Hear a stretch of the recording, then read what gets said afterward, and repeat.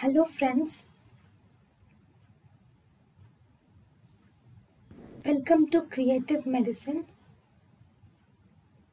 In this lecture, we will learn about. Hello friends, let us now learn some important points about the comitant squint. Okay, so if you see the etiology of comitant squint, comitant squint, if you see etiology, it mainly occurs due to the refractive error. In the refractive error, especially we have two types of refractive error. One we have hypermetropia and second we have myopia. Okay, whenever there is hypermetropia, remember whenever there is hypermetropia, what happens? So this is the normal eyeball. Okay, okay we have two axes. One we have visual axis. Second we have optic axis.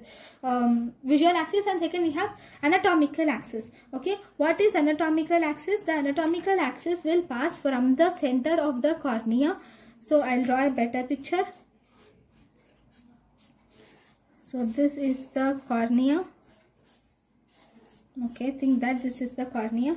Okay this is the lens. Okay this is the optic disc.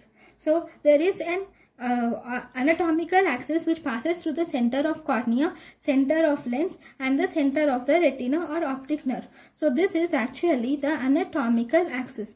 Then a little temporal to this we have the fovea okay one more axis is there which passes through the center of lens and then fovea and then to the object okay this is actually the visual axis okay the angle between the anatomical and visual axis is actually the kappa angle which is almost 23 degrees. Okay now whenever there is hypermetropia what happens? Whenever there is hypermetropia this eye will become smaller. Okay whenever the eye becomes smaller this will be moved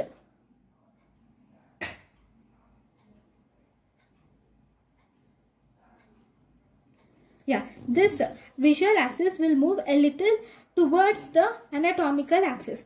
So as a result there is convergent squint. So here there will be convergent squint. Okay whereas if there is myopia then there the in the myopia there is bigger eyeball and as a result this visual axis will be a little more away. So here there will be divergent squint will be seen. So in the hypermetropia you will see convergent squint whereas in myopia you will see divergent squint. Then one more thing which can result in squint is anisometropia because the refractive errors of both the eyes are different and as a result the two refractive errors so the eye the visual axis of the two eyes will be different and as a result obviously there will be comitant squint okay? Next. Next whenever there is incorrect spectacle used for longer time. Whenever you use incorrect spectacle uh, for longer time that means uh, from the outside you are giving. See this is the anatomical axis but now you are putting a, a spectacle from outside okay like this when you give a spectacle outside again the visual axis will not fall on fovea it will fall a little away from the fovea either uh, away or it can be either towards the fovea and as a result there can be either type of squint can be there. And then whenever there is corneal opacities at the site of corneal opacities normally because the cornea is transparent the light the visual light can easily pass through the cornea. But whenever there is corneal opacities the light cannot pass through the cornea. So the focus of the cornea of the light on the fovea does not occur properly. So there won't be proper binocular vision and uh, vision and fusion stereopsis will not occur properly. And as a result this can cause concomitant squint. Then whenever there these opacities if they are present in the lens whenever there are lenticular opacities even then this visual axis will get deviated. Because the light which falls on the lens if the lens is clear the light easily passes through it through it. But whenever the lens is opacified then the light will get have to get refracted because of increased refractive index of the lens. The eye the this light will this uh, uh, this uh, field this light will bend a little more than that what should be normally normal ha normally happen. So as a result, this will also result in comitant squint. Then if the opacities are in the macula, that is whenever there is macular diseases.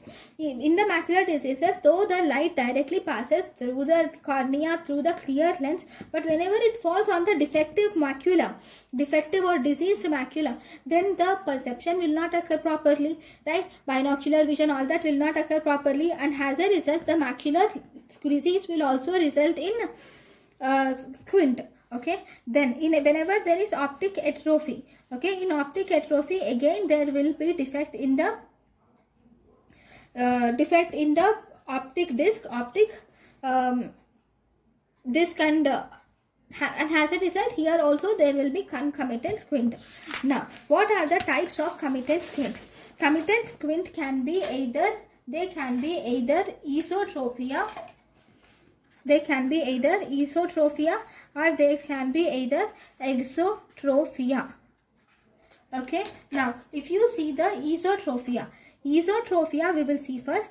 Esotropia can be of two types. One, it can be either accommodative esotropia or it can be non-accommodative esotropia. So, if you see accommodative esotropia, this accommodative esotropia can again be, here this accommodative esotropia, it is associated with accommodation reflex.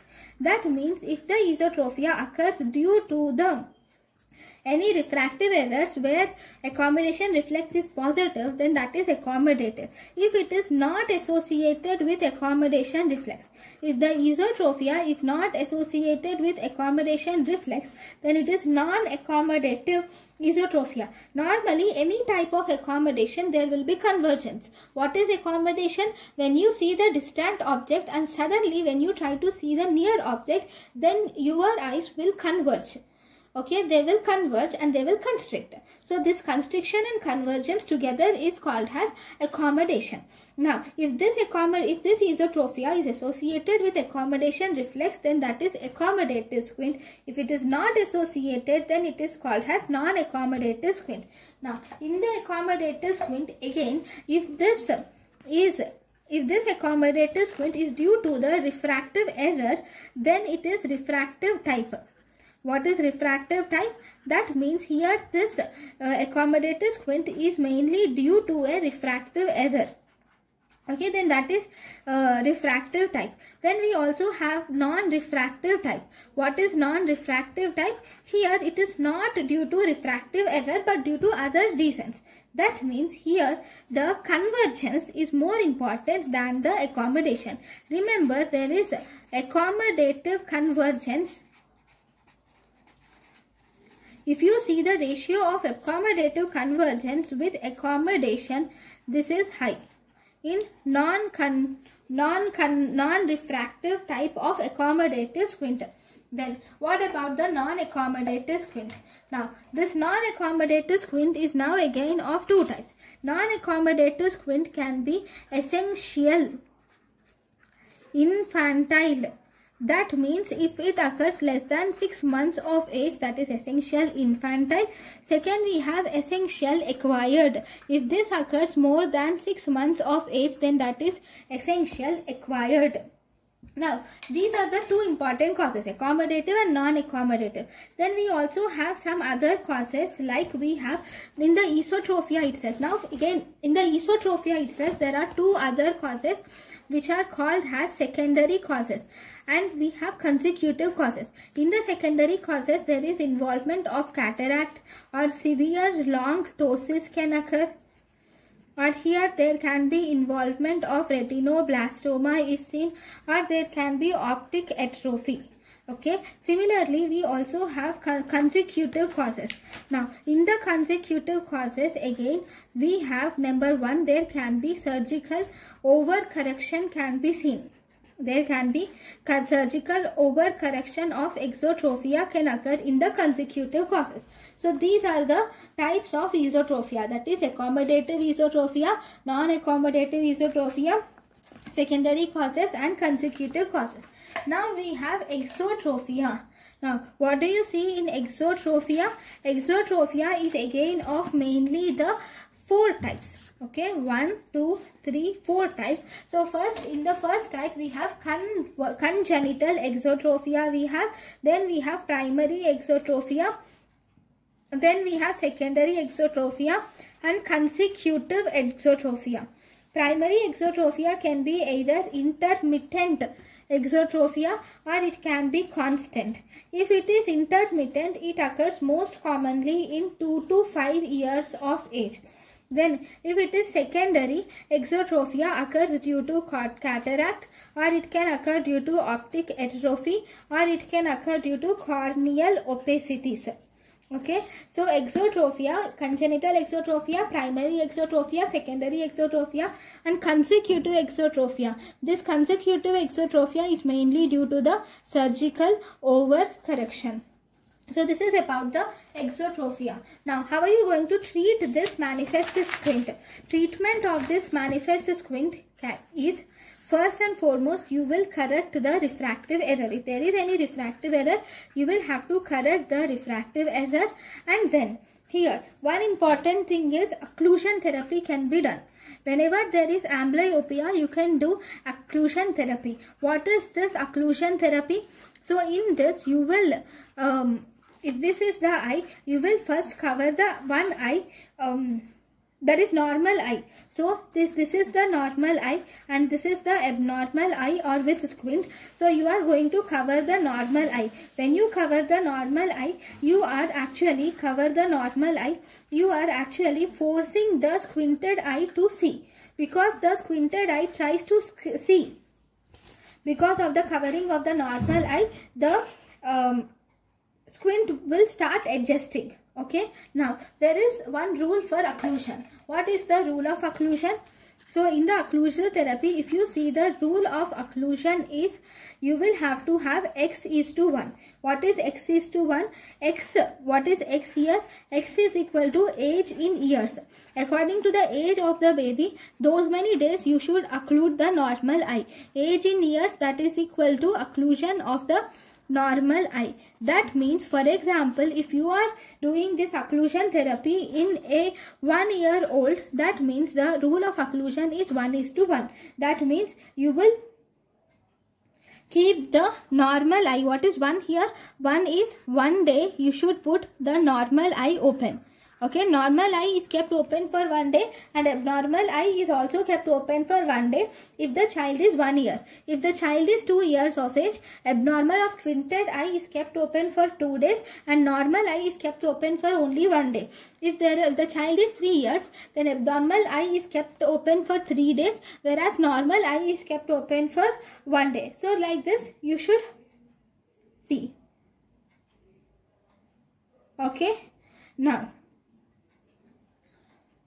so in, if, if one day not just normal eye but even abnormal eye is open. That means both the eyes are open in one day whereas the abnormal eye is only open for one day. Okay that is the thing. Now this amblyopia will only be corrected it is actually corrected only till uh, 5 to 6 years of age. After 5 to 6 years of age, even if you try to do amblyopic this occlusion therapy, it will not work. It becomes permanent. Then third, we can do orthoptic. You can teach the patient orthoptic exercises or you can either use synoptophore can be used for doing the orthoptic exercises. Then fourth, you can do surgery. Same either resection surgery or you can also do resection surgery based on the type of the uh, uh, based on the type of the squint you can do this and you can use prism therapy can also be given. Okay, prism therapy can be given for remaining correction even after the surgery. If there is any remaining or residual residual error is seen, then you can do this prism um, correction can be done. So this is about the manifest squint. Thank you. Thank you and thank you for watching.